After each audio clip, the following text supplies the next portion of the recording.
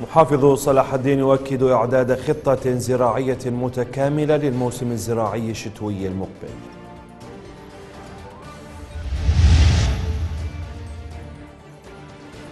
الكريم يناقش الوضعين الأمني والخدمي مع مديري بلدية وشرطة قضاء سامراء الحلبوسي يحدد الثاني من تشرين الأول المقبل موعدا لاختيار رئيس الجمهورية.